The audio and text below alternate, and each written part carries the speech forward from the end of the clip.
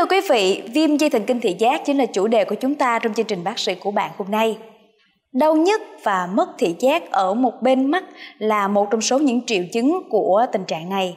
Và tình huống vừa rồi cũng đã giúp chúng ta hiểu phần nào, biết một số những dấu hiệu của căn bệnh này. Và để hiểu rõ hơn về nó thì sau đây Thúc Anh xin mời quý vị sẽ cùng với Thúc Anh gặp gỡ bác sĩ Phan Hồng Mai để hiểu rõ hơn quý vị nhé. Cảm ơn bác sĩ rất nhiều vì đã dành thời gian đến với chương trình hôm nay ạ. Xin chào quý vị khán giả. À, thưa bác sĩ, viêm dây thần kinh thị giác nên được hiểu chính xác là căn bệnh như thế nào ạ?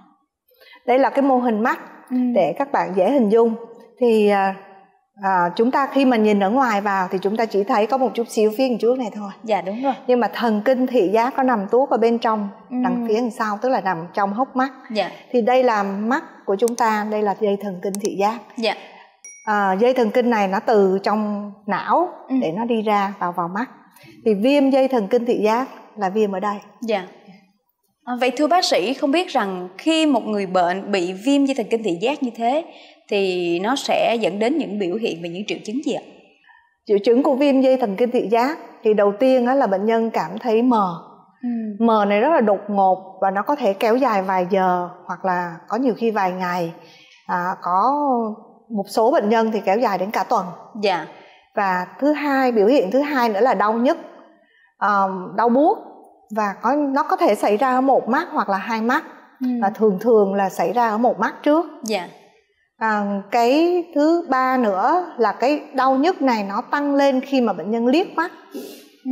tức là nếu mà nhắm mắt lại đã đau nhức rồi nhưng mà khi mà liếc mắt đi thì nó đau nhức nhiều hơn dạ và những cái biểu hiện khác có thể xảy ra nữa ví dụ như mất màu ừ. tức là bình thường thì chúng ta vẫn đang nhìn được màu sắc nhưng mà ngày hôm nay tự nhiên không thấy cái màu đó nữa dạ đó là một cái biểu những cái biểu hiện đi kèm theo hoặc là có thể mất thị trường ở một cái mức độ hạn chế nào đó dạ. ví dụ như ở trung tâm hay là ở bên chu biên hay ừ. là hình cung hay là hình dạ. ví dụ như ở trung tâm hay là ở bên chu biên hay ừ. là hình cung hay là hình nhẫn thì rất là nhiều loại có thể xảy ra Dạ. Yeah. À, như bác sĩ mô tả bằng mô hình lúc nãy thì anh có thể thấy rằng dây thần kinh thị giác thì nằm ở sâu bên trong cấu trúc của mắt.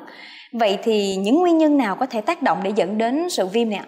Viêm dây thần kinh thị giác thì đầu tiên là vô căn, tức là cái đó nó nhiều nhất, nó xảy ra nhiều nhất, à. tức là không có một cái lý do gì hết mà yeah. Dạ. nó tự nó nó bị viêm. Ừ.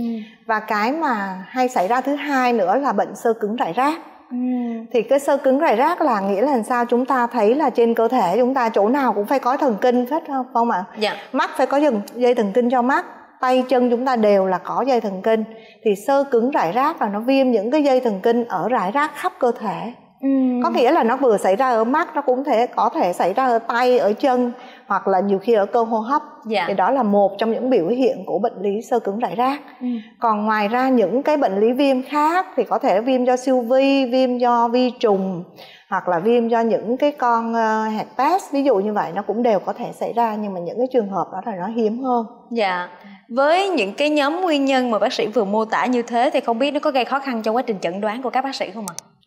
Cái chẩn đoán thì như tôi hồi nãy tôi mới vừa mới nói tức là đầu tiên là vô căn. Dạ. Cái thứ hai là sơ cứng đại rác và cái thứ ba mới là cái nhóm nguyên nhân mà nhiễm viêm nhiễm. Dạ. Thì như vậy những cái viêm nhiễm thì nó ít xảy ra lắm. Ừ. thì cái viêm dây thần kinh thị giác là nó chỉ là một trong những biểu hiện khi mà có những cái khác kèm theo. Dạ. do đó nên nếu như trong trường hợp mà bệnh nhân đến với chỉ có cái ở mắt không thôi ừ. thì nhiều khi là chúng ta cũng không cần thiết phải làm những cái mà xét nghiệm gì mà to tác dạ. nhưng mà thường thường là MRI chúng ta cần phải phải làm còn ngoài ra những cái biểu hiện khác ví dụ như bệnh nhân có biểu hiện ở tay chân hay là ở cô hô hấp thì sẽ cần có những cái xét nghiệm chuyên biệt cho những cái biểu hiện đó nữa dạ Vậy thì còn nói riêng về tình trạng xảy ra ở mắt thôi thì à, không biết rằng chúng ta có thể điều trị được không thưa bác sĩ? À, bệnh lý này thì à, đầu tiên là chúng ta phải xác định xem nó đúng là cái bệnh đó hay không. Dạ. Do đó nên là khi mà có những cái biểu hiện mà chúng ta nghi ngờ thì nên đến bác sĩ chuyên khoa. Ừ. Tại vì có những cái biểu hiện tương tự như vậy xảy ra rất là nhiều trong những cái bệnh lý khác tại mắt. Dạ.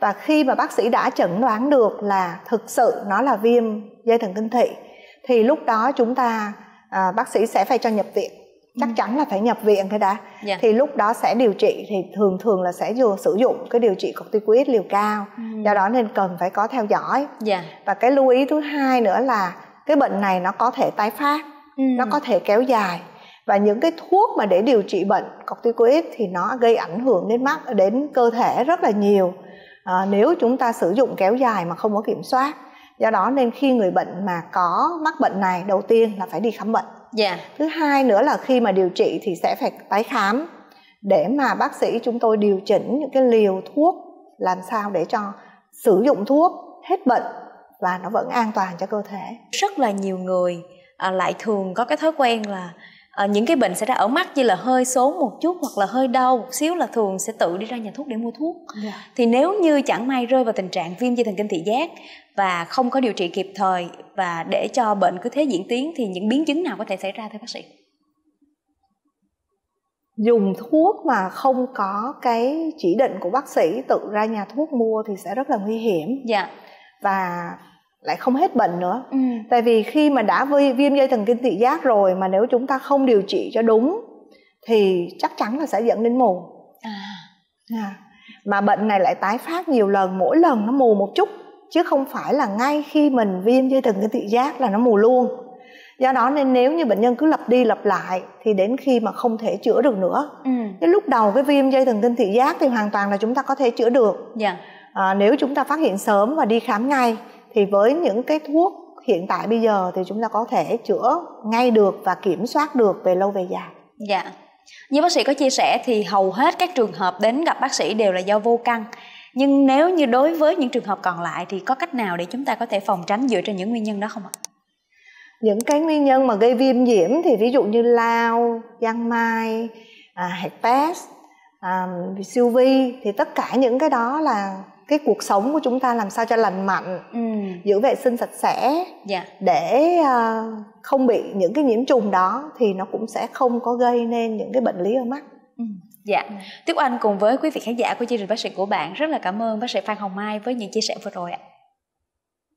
Và đến đây thì thời lượng dành cho chương trình bác sĩ của bạn sáng nay cũng đã kết thúc. Cảm ơn quý vị rất nhiều vì đã quan tâm, theo dõi và đồng hành cùng chúng tôi.